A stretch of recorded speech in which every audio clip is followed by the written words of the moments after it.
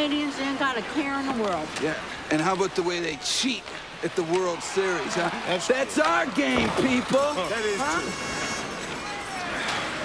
I'll tell you another thing. The beer sucks.